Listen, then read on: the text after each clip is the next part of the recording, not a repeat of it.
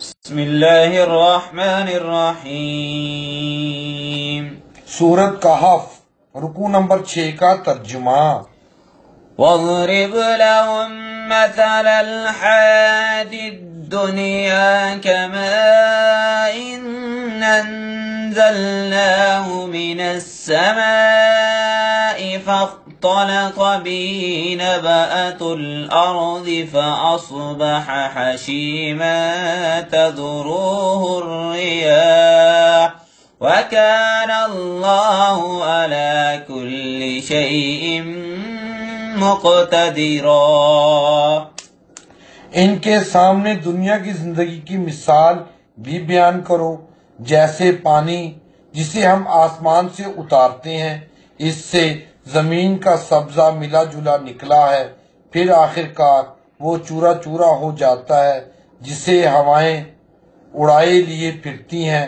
اللہ تعالی ہر چیز پر قادر ہے۔ المال والبنون زینت الحیات الدنيا والباقيات الصالحات خير عند ربك ثوابا وخير املا مال و دولت تو دنیا ہی کی زینت ہے اور ہاں البتہ باقی رہنے والی نیکیاں تیرے رب کے نزدیک ازوائے ثواب اور آئندہ کی اچھی توقع کے بہت بہتر ہیں۔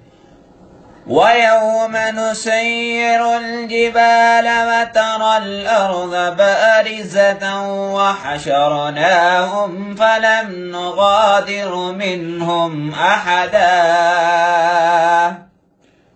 اور جس دن ہم پہاڑوں کو چلائیں گے اور زمین کو تو صاف کھلی ہوئی دیکھے گا اور تمام لوگوں کو ہم اکٹھا کریں گے، ان میں سے ایک کو بھی باقی نہ چھوڑیں گے وعرضوا على ربك صفا لقد جئتمونا كما خلقناكم أول مرة بل زعمتم أن لن نجعل لكم موعدا.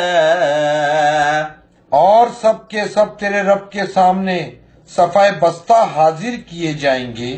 یقیناً تم ہمارے پاس اسی طرح آئے جس طرح ہم نے تمہیں پہلی مرتبہ پیدا کیا تھا، لیکن تم تو اسی خیال میں رہے کہ ہم ہرگز تمہارے لیے کوئی وعدے کا وقت مقرر کریں گے بھی نہیں۔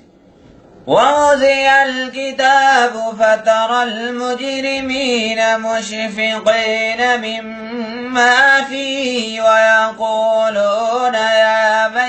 ويلتنا ما لهذا الكتاب لا يغادر صغيرة ولا كبيرة.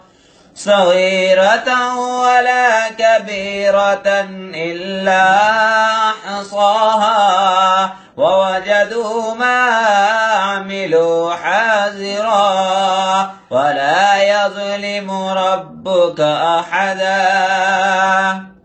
اور نامہ اعمال سامنے رکھ دیے جائیں گے۔ پس تو دیکھے گا کہ گناہ گار اس کی تحریر سے خوف زدہ ہو رہے ہوں گے اور کہہ رہے ہوں گے، ہائے، ہماری خرابی، یہ کیسی کتاب ہے جس نے کوئی چھوٹا بڑا بغیر گھیرے کے باقی ہی نہیں چھوڑا اور جو کچھ انہوں نے کیا تھا سب موجود پائیں گے اور تیرا رب کسی پر ظلم و ستم نہ کرے گا۔